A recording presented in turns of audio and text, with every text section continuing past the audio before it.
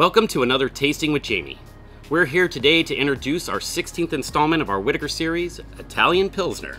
This neoclassical style of beer was first made in Italy and is a dry hop version of a classic Pilsner.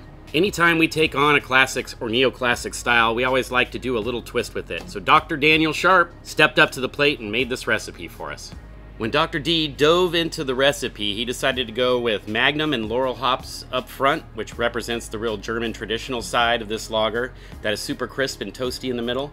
It's then dry hopped with American varieties of Adina as well as Mosaic, giving up a real floral as well as tropical and a hint of citrus, real subtly like a lager may, but you get that extra aroma and flavor. This Italian Pilsner is draft only, so go on our website and check out Beer Finder to see where you might be able to find it now.